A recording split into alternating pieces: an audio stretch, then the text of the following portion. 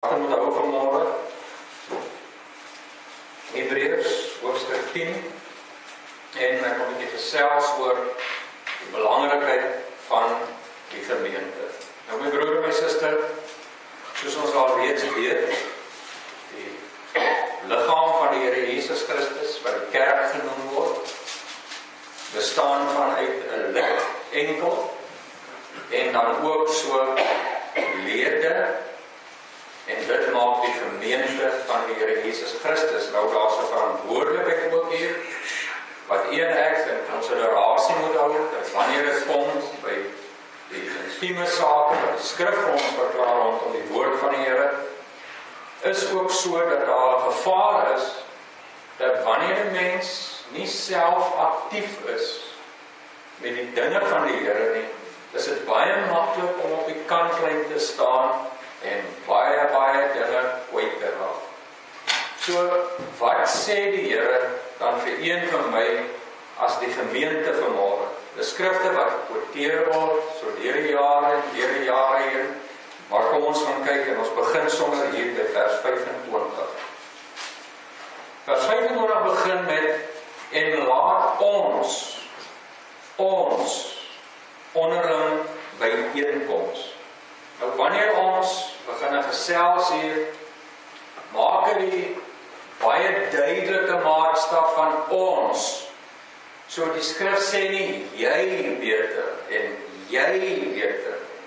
So die skrif maak dit duidelik tot die kerk, die liggaam van Christus. Daar word gepraat met ons.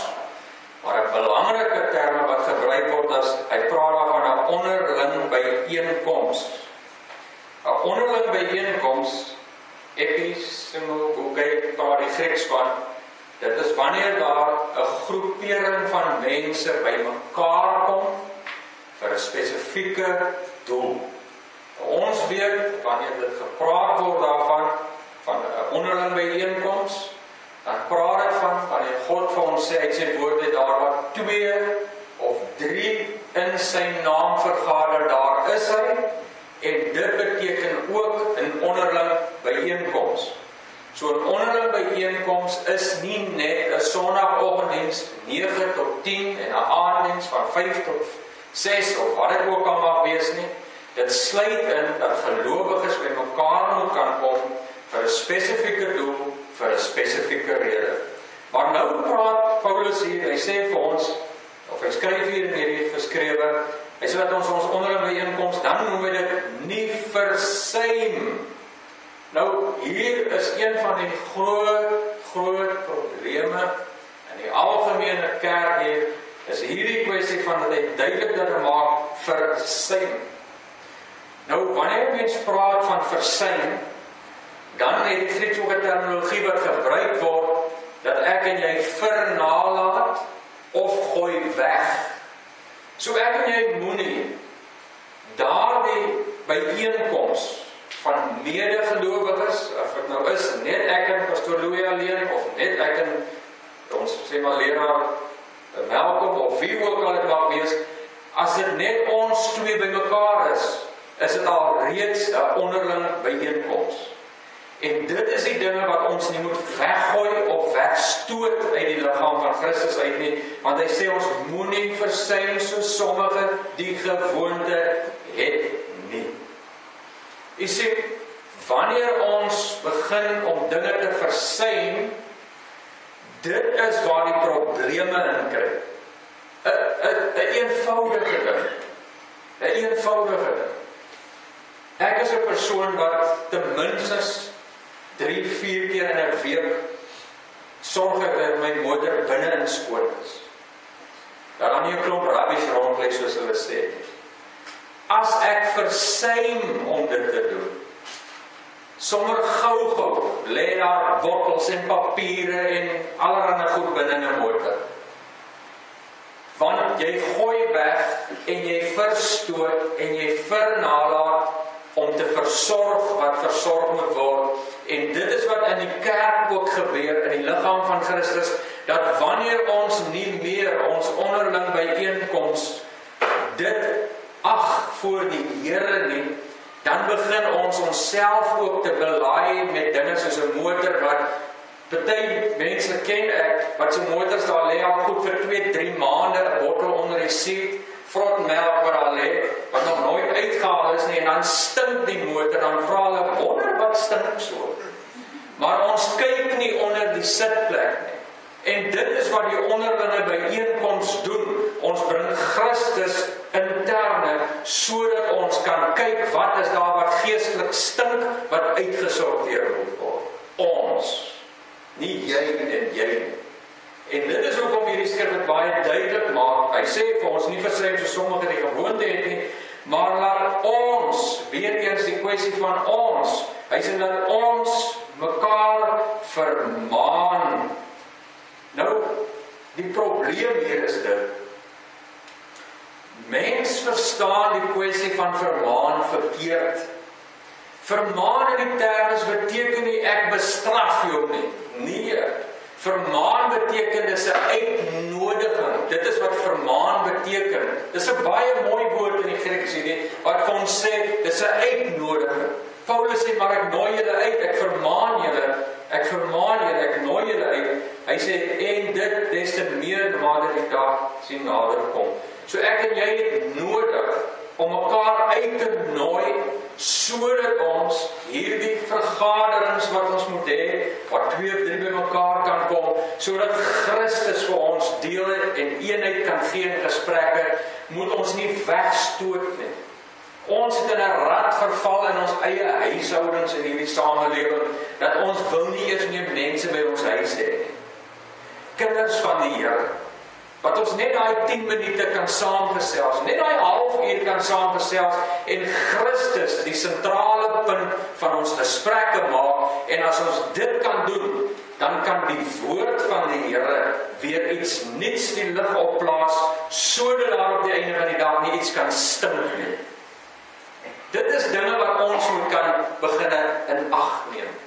Nou as ons teruggaan na, na vers 23, toe vers 23 sê, hy sê laat ons weer nie jy jy en jou nie. Hy sê laat ons die belydenis van die hoop onwankelbaar vashou. Stop net vir 'n oomblik. So hier kom hy en hy maak iets duidelik. Hy sê dat hier is 'n hier is 'n belydenis.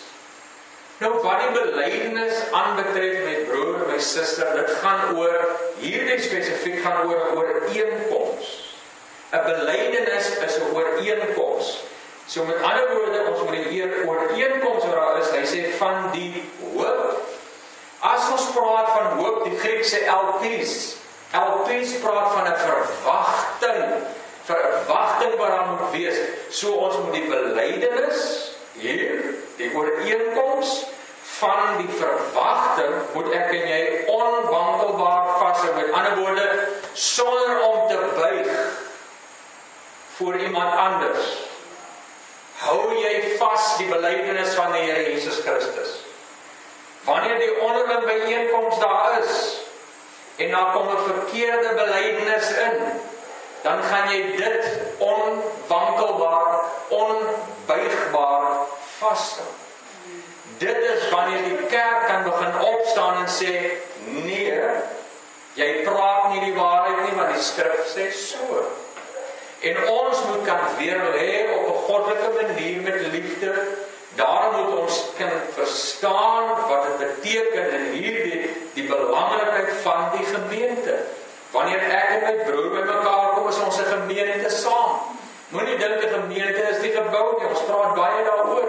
Dis u en ek as wedergebore kind van God wat saamkom en die belydenis, hierdie belydenis van die hoop, die verwagting wat die Here het van u en van my, moet ons onwankelbaar, onbuigbaar kan vashou. Ek gaan nie compromise met die woord van die Here nie. Al verloor ek 10000 vriende, prys ek God daarvoor. Al moet ek alleen deur die lewe gaan, dan prys ek die Here daarvoor. Maar ek kan nie toelaat dat die kerk, die liggaam van Christus, geïntimideer word met iets wat nie daar moet wees. Wat sê die skrif verder hier? Hy sê want hy wat beloof het, is getrou. Hy is God wat dit beloof het, nie 'n mens nie. En as God iets beloof het met broer en my my suster, daar kan ons weet dat wanneer God self betrokke is, dan is daar uitkoms altyd. As die Here self betrokke is in dit wat vir hom gedoen word, sal hy homself laat manifesteer daar, want dit is 'n ooreenkoms wat uitgeleef word en die ooreenkomsmaker is God alleen en nie ek as mens dan sal die gemeente ook in baie areas gesond raak. Ja, ons sien deur die lewe, daar is nou maar net nie 'n perfekte kerk nie. So moenie dit gaan soek op aarde nie, want jy gaan dit nie daar kry nie. Maar u en ek het die vermoë in Christus om dinge suiwer te hou.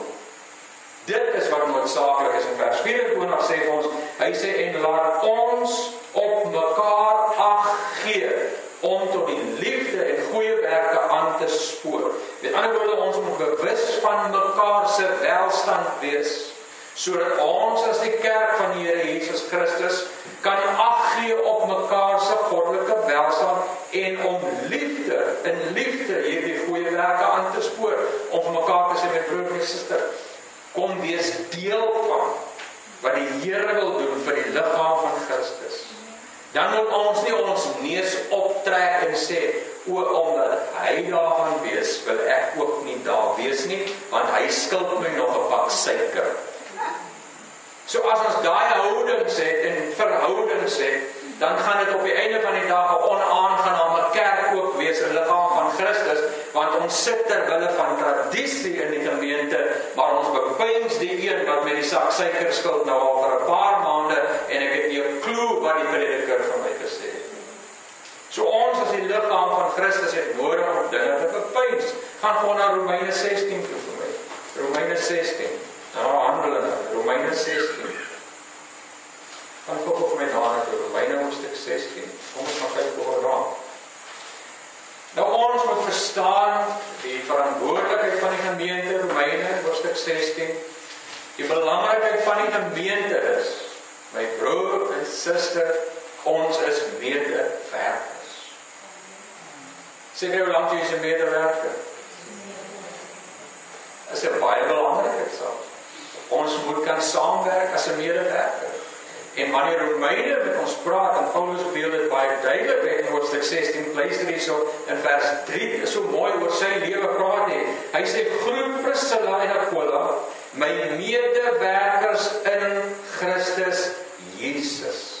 Jy sien hierdie twee as man en vrou was bekwam gewees om te kon sien wanneer daar iemand in die liggaam is wat nie die waarheid lekker sny nie, maar die ywer is daar. En wanneer die ywer daar was, kon hulle dit identifiseer en dan kon hulle die persoon nader trek en sê luister, kom bietjie hier. Ons wil jou onderwys in die woord van die Here want ons sien jou ywer is daar. Wanneer laas het die kerk gesien die ywer is daar van iemand Al het hulle so 'n bietjie 'n misverstand rondom bediening, wat ons doen in baie opsigte is ons luister en sê ons, "Wat valse prediker."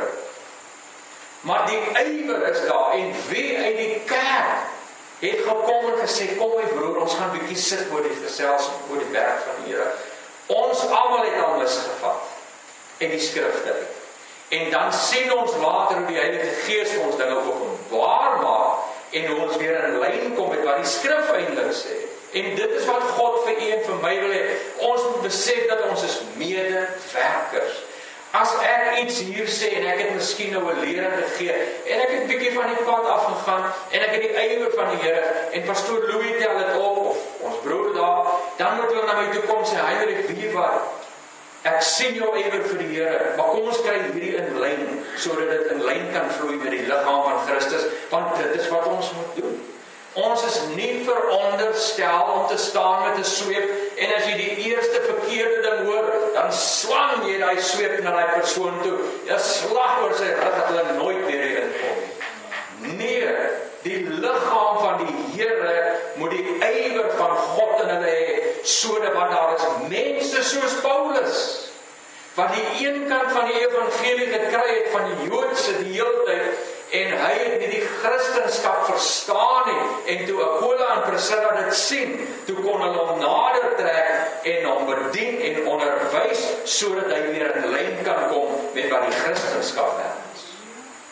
So wie is ons op die einde van die dag? Daarom ek sê, die liggaam van Christus, ons moet kan verstaan wat is daai verlange van die Here vir die kerk hier op aarde vandag dat ons meer intiem met mekaar moet wees rondom sake wat goddelikheid behels. En vers 4 sê vir my, hy sê wat vir hulle, want hy sê wat vir my hulle lewe gewaag het.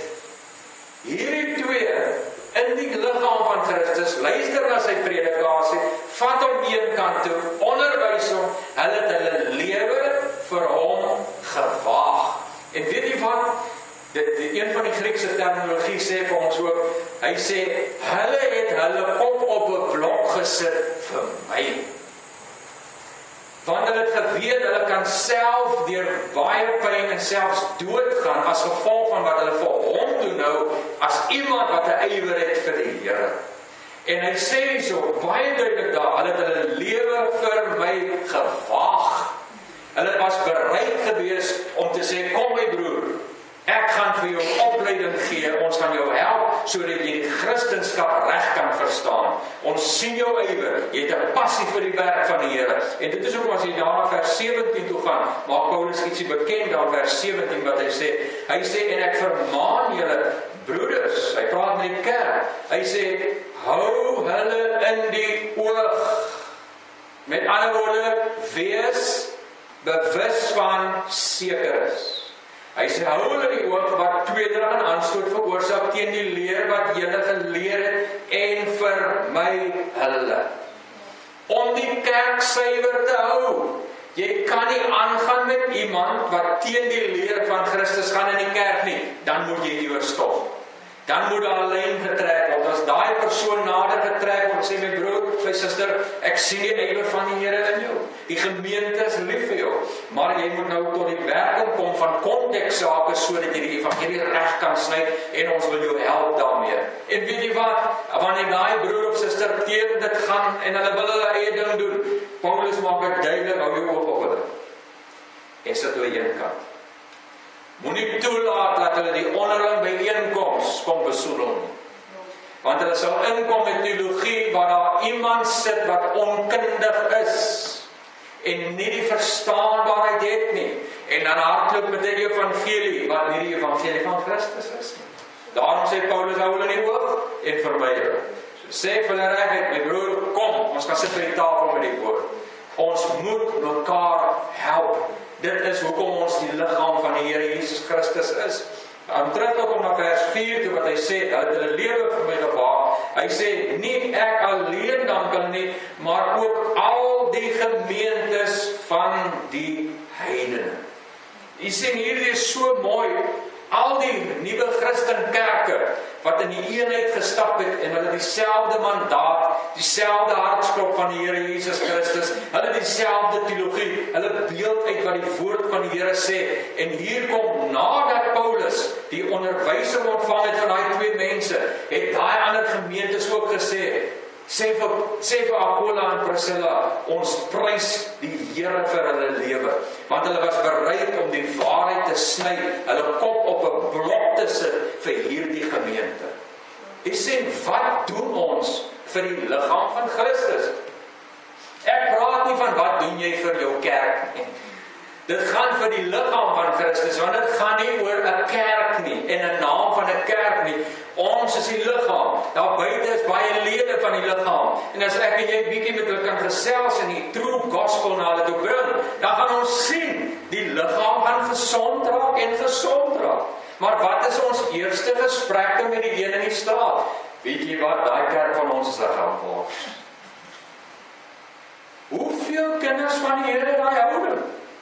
In plaas van om die gemors uit te sorteer, vat hulle die wasgoed uit die kerk uit en gaan hang dit buite in die straat op sodat die hele wêreld moet weet wat in die liggaam aangaan en sê die mense daar buite, "Hey, julle Christene."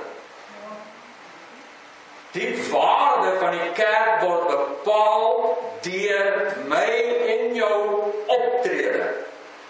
Ons as die liggaam, as 'n lid en lede saam is die liggaam van Christus, maak die gemeente ons optrede bepaal hoe die wêreld gaan kyk na die kerk. As ons nie die hart van die Vader kan bring in die kerk nie, wat verwag ons op die einde van die dag? Hartseer en hartseer. Gaan vir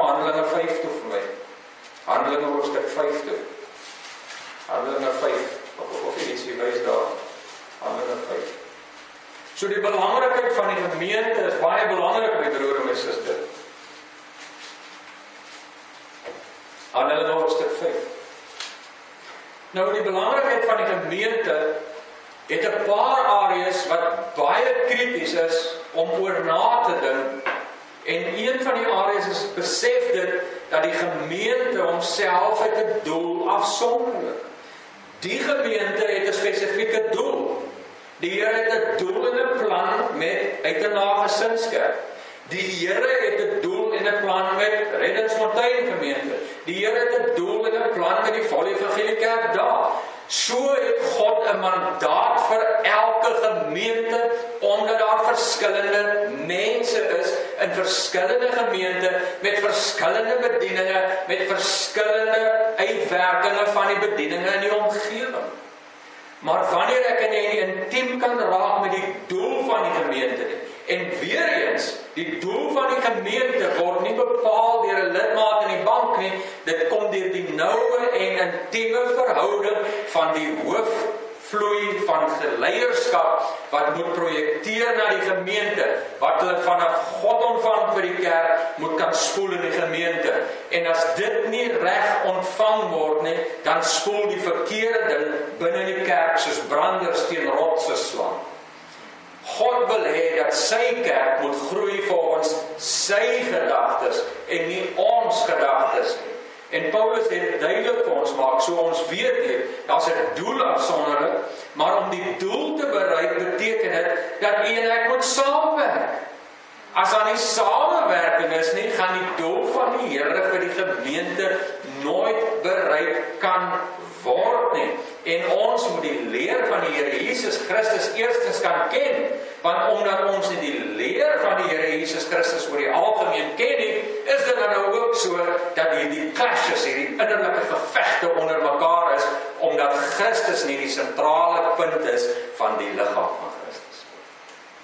As ons almal maar net ons gedagtes kan terugbring na die sentrale punt Christus Jesus, ons Here Wat wil u hê moet die gemeente hier of daar vir u wees? Here openbaar deur u gees vir ons wat wil u vir die gemeente hê? Nou luister hier vers 42 van Handelinge hoofstuk 5. Hy sê hulle het nie opgehou om elke dag in die tempel en van huis tot huis te leer nie van huis tot huis te leer nie en in die tempel.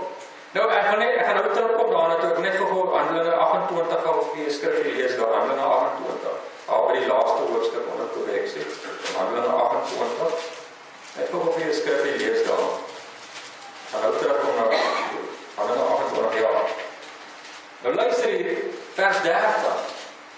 En Paulus het twee volle jare in sy eie gehuurde huis gebly en almal ontvang wat na hom gekom het. Met ander woorde, hy het die doel verstaan en die samewerking verstaan. Vers 31 terwyl hy die koninkryk van God gepreek en geonderrig gegee het aangaande die Here Jesus Christus met volle vrymoedigheid sonder enige verhindering. So die hoofdoel was geweest om Christus die hoofdoel te maak van alles. Of dit in 'n huiskerk is so vir diegene oor hierdie aarde wat stop teen 'n huiskerk en sê waar kom jy aan om kerk in 'n huis te hou? Jy's van die pad af met jou gedagtes rondom dit en weer moet terugkom as 'n kind van die Here, want 'n huiskerk is al reeds die kerk van Handelinge, is 'n plek daai waar jy mense die Christus teologie kan gee, waar jy mense kan help en dis 'n gemeente daai. Dis 'n gemeente, gemeente is nie net in 'n tempel nie. Dis hoekom as ons terugkom na Handelinge toe dan sê hy daar in 5:42, hy sê daar hulle in die tempel en van huis tot huis te leer nie. Met ander woorde, daar's 'n leerstelling dat in huise moet wees, maak hom selfs by wyse van spreuke, want dit gaan daaroor om die kerk gesond te kry, moet ek my deur kan oopmaak met die bediening op my lewe sodat ons as twee of drie bymekaar kan kom en een mandaat voor oë is om Christus Jesus die verlosser te soek vir die gemeente se doel waarvoor en hoekom. En hier skryf hy verder, hy sê te leer, hy sê en die evangelie te verkondig dat Jesus die Christus is.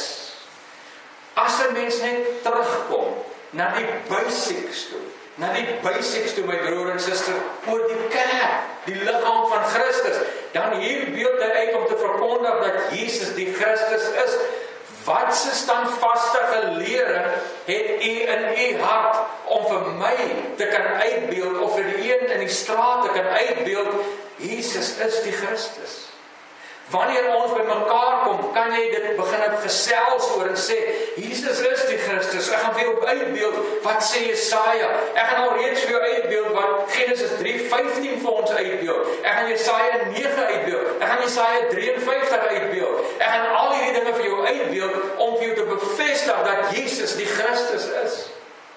Hoeveel van ons wat in 'n huis sit of in 'n gemeente sit Ons is deel van die liggaam van Christus, maar ons kan nie eens een keer uit een skrif vir iemand eers as 'n gemeente uitbeeld dat Jesus die Christus is. Is dit nie iets waaraan ons moet werk nie? Is dit nie iets wat ek regtig persoonlik vir die Here moet gaan sit en sê, Here, u woord sê moenie versuim die onderlinge byeenkomste nie. Maar wat het ek regtig op die tafel wanneer ek by die onderlinge byeenkomste kom? Sit ek dan met 'n mond vol tande? Of sit ek met 'n mond sonder tande? Soos daai een persoon gesê het ons daar in die Kaap was met 'n groot tent crusade, toe preek hy die evangelie van Lukas 16 en hy sê ja van die geween en die geknars van die tande en pastoor Ouboek was daar saam met my gewees en toe sê hy pastoor en as jy weet jy het die tande in jou mond nie en jy het gesterf sonder tande dan sal jy 'n paar valstande in die hel kry en dit sal daar geknars word. Maar wat ek net wil uitbeeld vir die kerk is is belangrik vir een vir my om voor in ons hart te bære want dis die gemeente. Die onderling byeenkoms moet Christus Jesus kan wees. Die onderling byeenkoms moenie hier kan wees. Ja, ek is nou sommer kwaad want die gordyn lyk nie reg nie. Ja, ek is nou sommer kwaad want dit lyk nie reg nie. Wat het jy te sê van Christus vir my? Wat het ek van Christus te sê vir u? En hier kom Paulus en hy skryf dit hier. Hy sê en die evangelie te verkondig dat Jesus die Christus is. So dan moet 'n standvastigheid wees. Dan moet 'n visie wees wat die kerk moet kan uitleef. Wat is die visie van die gemeente?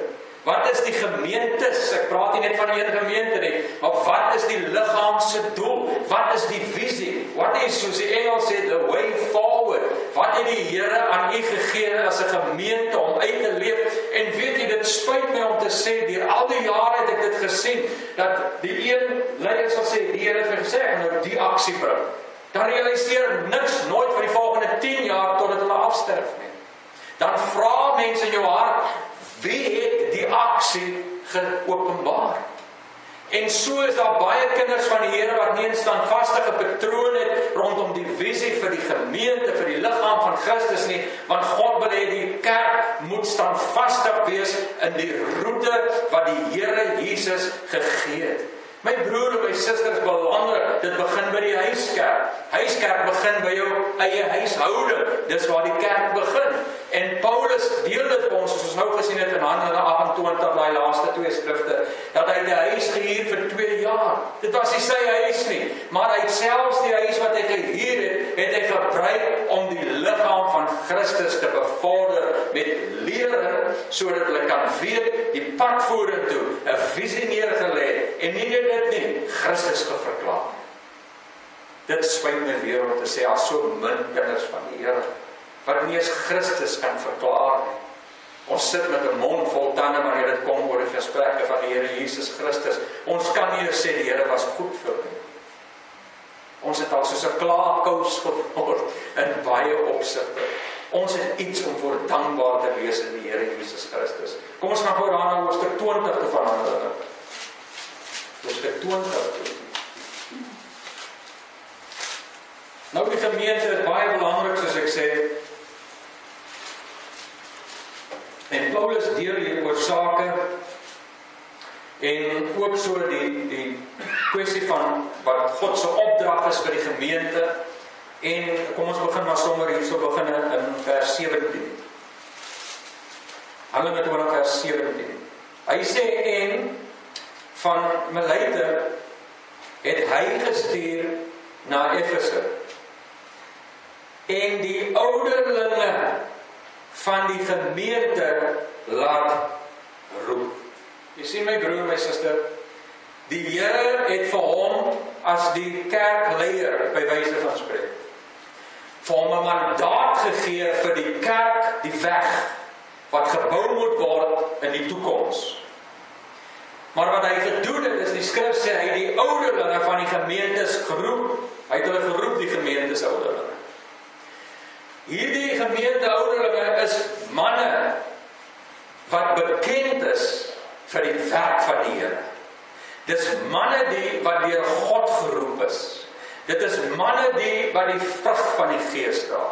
Dit is manne die wat se taal gebruik in lyn is met die skrif want hulle is opgelei soos Aquila en Priscilla vir Paulus geneem het, het Paulus hulle opgelei sodat hulle weet wat verwag God van hulle en die boeke van Timoteus Die twee boeke van Timoteus en van Titus, daardie pastorale boeke is ingeprint in hulle harte en wat is die verwagting van God van so 'n man wat so 'n posisie beklee? Hy moet 'n man wees na die hart van die Here. En Paulus roep hulle na hom toe. En die skrif verduidelik vers 18 en toe hulle by hom kom, sê hy vir hulle: "Julle weet hoe ek is van die eerste dag af dat ek in Asië gekom het, die hele tyd by julle gewees het." Met ander woorde, hy het die plan van God altyd op die tafel gesit by die ouderlinge. Die kerkleier, dit is in Handelinge 20 vers 20 God het die kerkleiers opgelei. Want ons het gesien in Handelinge as daar roeping kom, dan kom die roeping deur God. God wys aan die persoon word aangestel. Paulus sê kom ek roep julle, manne kom daar. Paulus kom en hy sit die mandaat op die tafel voor die ouderlinge.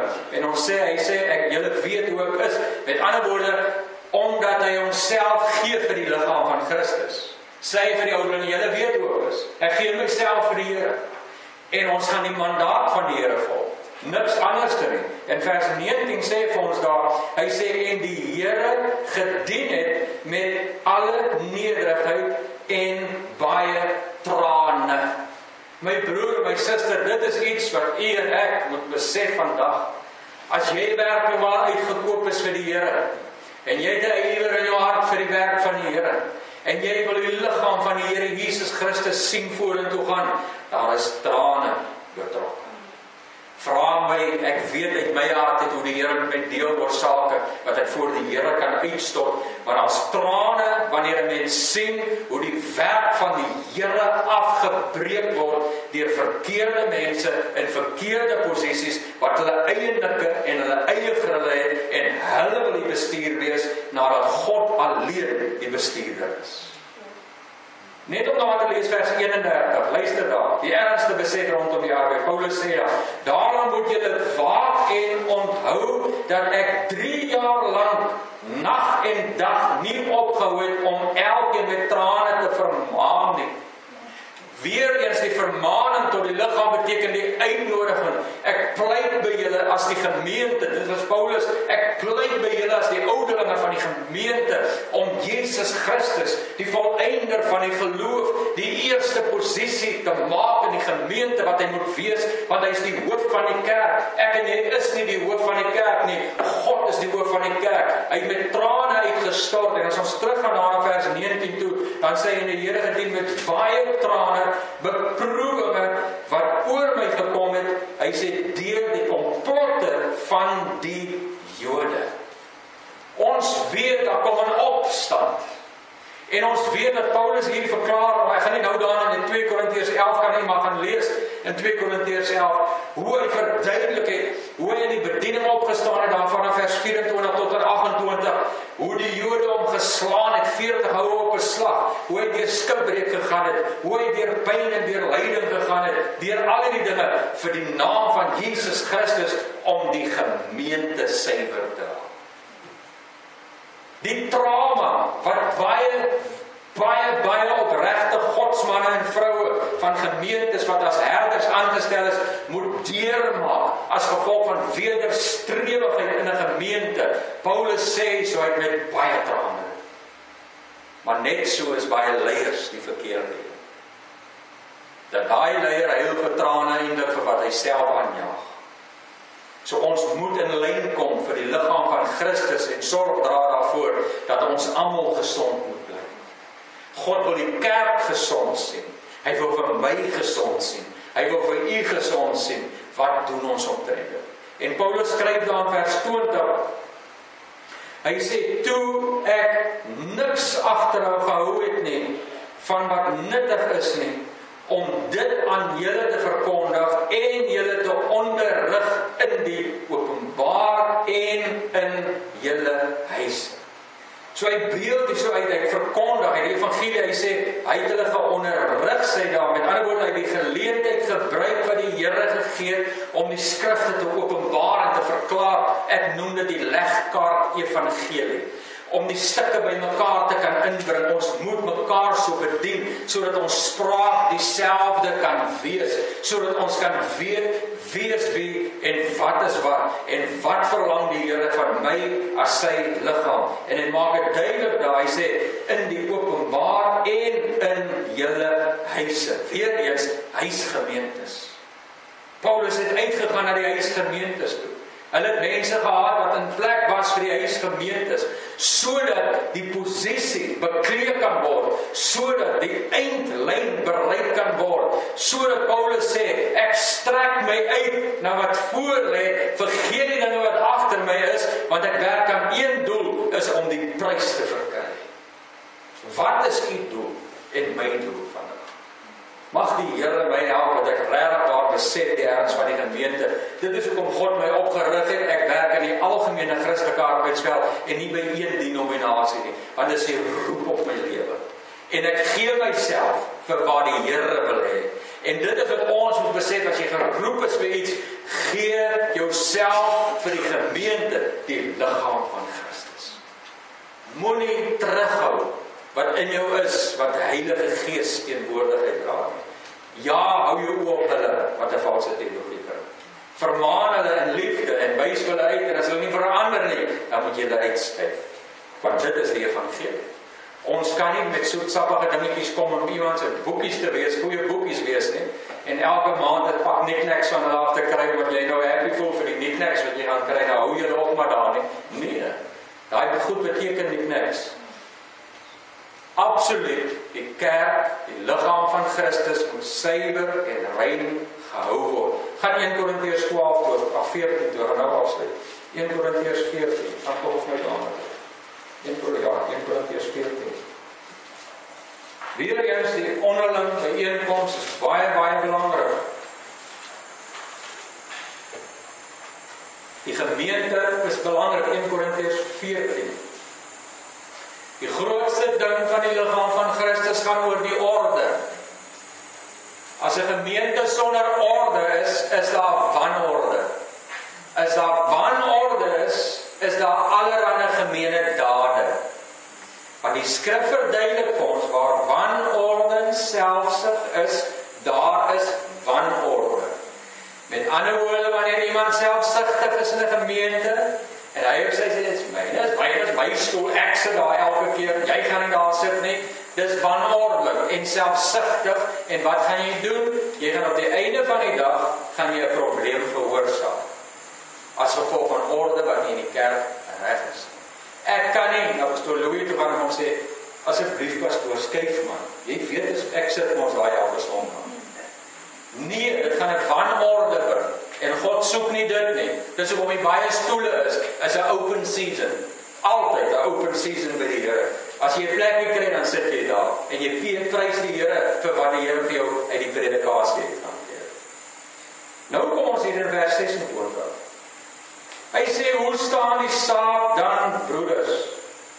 Wanneer julle saamkom, dan het elkeen elkeen right elkeen hy sê van julle 'n psalm met ander woorde of 'n sangitem hy sê of 'n lere met ander woorde 'n woord met 'n inspirasie daarbey hy sê of 'n taal of 'n openbaring of 'n uitleg laat alles tot stigting skied of geskied so met ander woorde in 'n publieke getuienis Paulus sê wanneer jy bymekaar kom, hy sê nie in die kerk nie. Wanneer jy bymekaar kom, of dit in 'n huiskerk is of in 'n tempel is, soos ons nou maar in Handelinge gesien het, of in die straat is of waar ook al, waar twee of drie in God se naam vergader, daar is hy. Dis 'n onderlinge byeenkoms. As jy bymekaar kom, hoe lê die saak? Dis wat hy vir ons probeer sê. Hy sê hoe lê die saak daar? Hy sê dan laat dit alles in stigting geskied. Stigting. Ooit die domme sê die Grieks daar. Daai woord hier daar stigting, ooit die domme. Hy sê met ander woorde, dit is die opbou van God se woning. Paulus verduidelik vir ons ons is God se woning. Ons is sy akker. Die skrif maak dit baie duidelik. So ons by een kom by mekaar. Wanneer ek weggaan van my broer of suster af, dan moet ek voel the joy of the Lord is binne my, want die Here het my gestig deur 'n woord en ek moet dieselfde doen. Daarom moet ek kan onderskei want die liggaam van Christus is sodat ons mens is. Ons is nie nou in die hemel nie.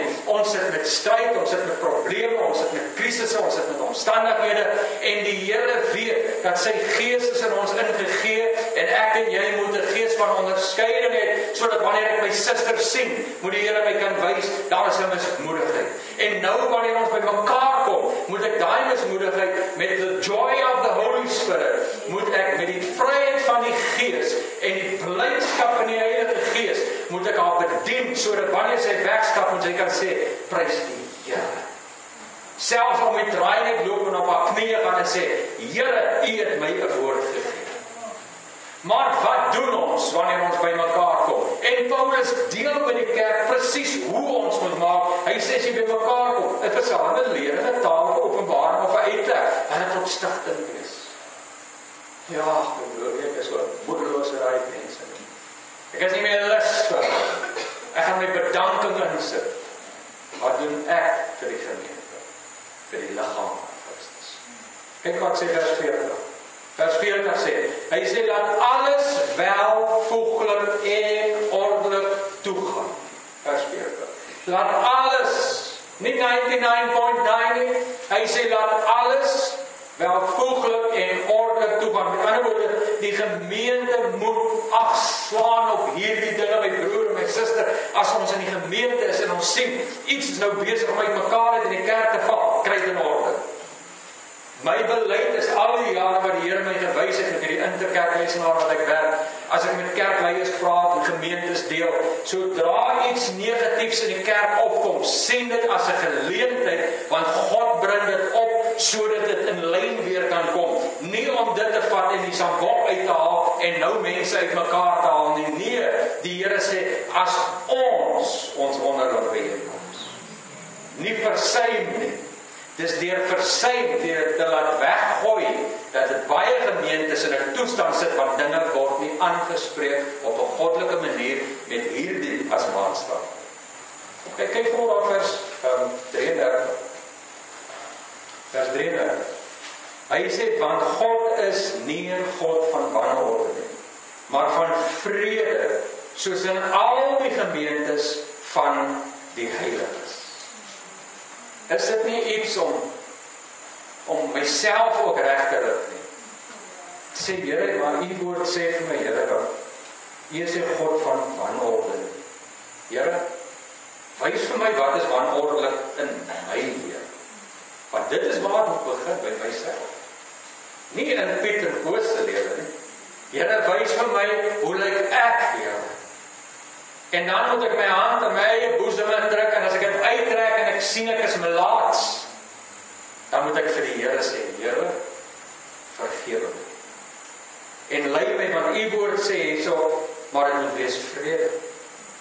Here, ek het nie vrede in my hart met daai broer en daai suster nie. Here, help my dat ek kan vrede maak. Want die woord van die Here het begin met ons oor die bediening van die werkpredikasie. Salig is die vredemakers. Want hulle sal kinders van God Die Here wil die gemeente suiwer hê, my broer en my suster. Ons kan aangaan en aangaan oor die teologie van die gemeente, veral in Efesiërs 5, as jy daarna toe gaan 4:23 toe, wat die Here vir ons uitbeeld dat hy sê dat God is die hoof van die Jesus Christus, die hoof van die gemeente. Hy is die een met die denke tot die kerk vandag. Ons moet die gedenkpatrone van Christus in die kerk inbring sodat die kerk en die gemeente gesuiwer kan bly van dit wat afvallig is. Mag die Here u seën. Dis my gedagte. Dankie pastoor Lee. Dis nou die woord. Daai ja, Elise, dankie vir die woord wat jy uitgegaan het. Help ons